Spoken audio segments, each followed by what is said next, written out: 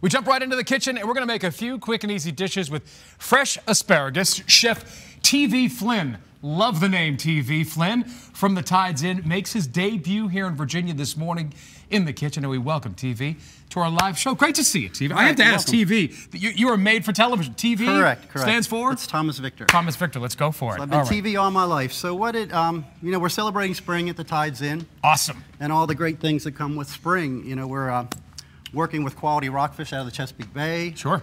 Great local oysters. We anticipate the arrival of our soft shell crabs this week.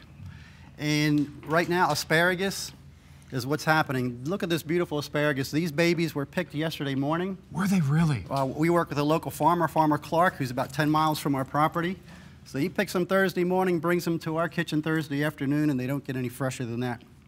And, and, and tell us about that, uh, Chef Flynn. When you have something this fresh, really just hours out of the ground, heck- what does that do for you as a chef we- and we- really for the people that are going to be enjoying it? We make sure we tell our guests how fresh it is. We even say on our menu, just picked.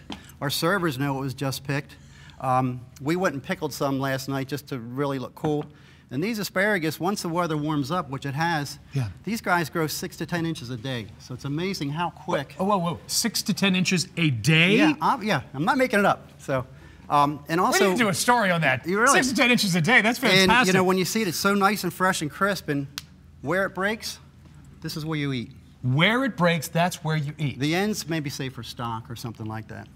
So, anyways, what we're going to do, and also um, we're going to talk about honey, and we're excited about honey because this is the uh, our, our first year with our honeybee program, and we just have four brand new beehives that are on a piece of our property that we planted with cloves and uh, uh, fresh wildflowers. So we, our little honeybees have their own little buffet right there for them, and we expect to be harvesting honey in the fall. You're serving So- people with legs and wings. I love it. exactly. So we got the asparagus, we got the honey. It's all right there at the Tides Inn. Chef Flynn, if I'm at the market, what should I be looking for with asparagus like this? I mean, obviously, sure- you know that it's, it's coming from something fresh. well, yeah. you can tell it's so crisp. Yeah.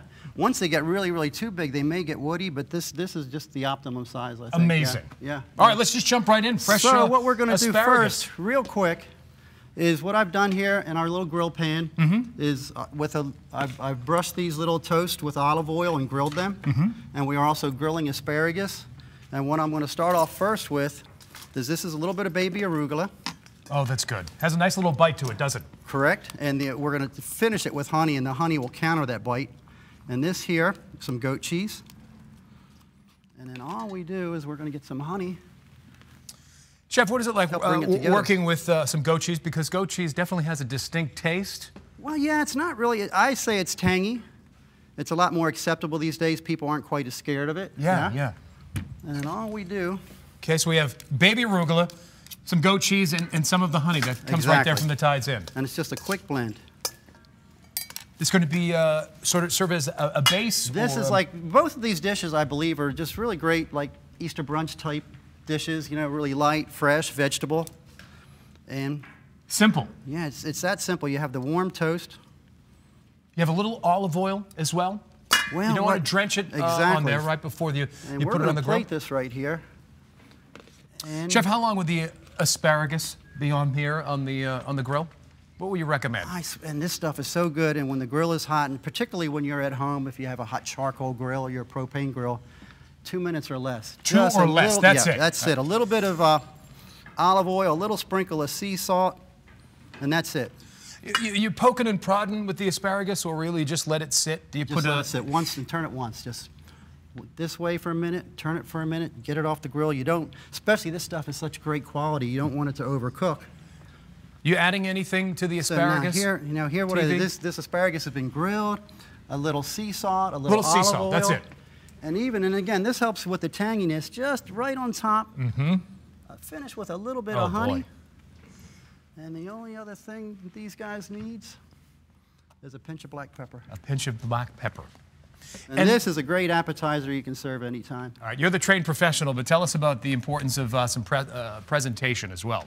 Well, I mean, we have, you know, again, we have our colorful plates. The, you know, let the freshness of the product speak Mm-hmm. for itself.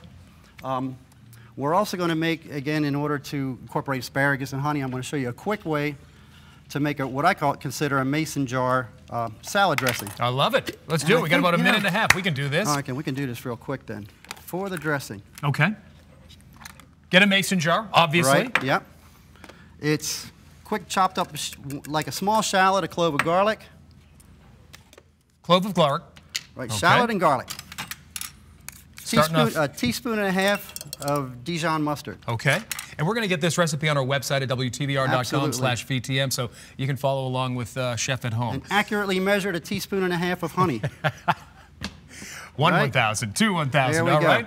Quarter cup of balsamic vinegar, Balsamic vinegar, quarter cup. three quarters cup of extra virgin olive oil, Oh, boy.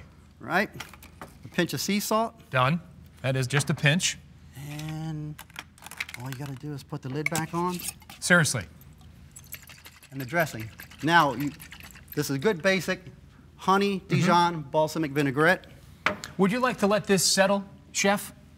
Well, yeah, like I mean, sit it- in the know, refrigerator for a while to Yeah, serve but I- I maybe in a I day like- or two? Or Yeah, I could this just go right on the personally. I, I like the freshness right away of it, and the only thing you can do with it is um, you could add a herb of choice, whatever your favorite herb oh, is. man. So we take the grilled asparagus, put it on a plate.